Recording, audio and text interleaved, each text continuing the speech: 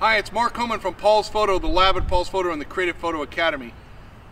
It's a beautiful day to be creative. And tomorrow night, we have the amazing Kristi Odom giving us a great talk on being creative and having our voice and telling our story with our pictures. So what did I want to share today?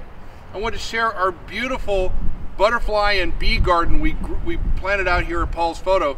You can see the bees are buzzing around me right as we speak. No, I'm watching my eyes so it's all protected.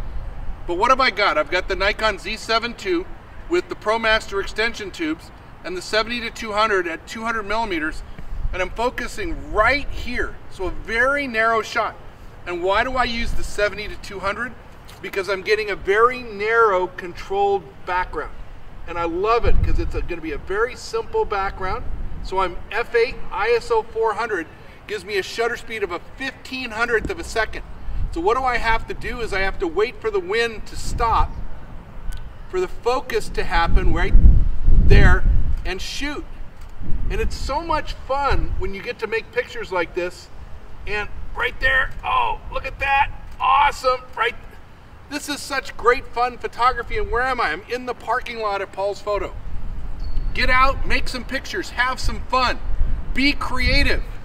That's what the Be Creative series is all about challenge where you live and make the pictures where you live. And then when we travel, we'll be able to make even better pictures. Mark Comon from Paul's Photo, the lab at Paul's Photo and the Creative Photo Academy. It's a beautiful day to be creative. Tomorrow will be too. We'll see you tomorrow.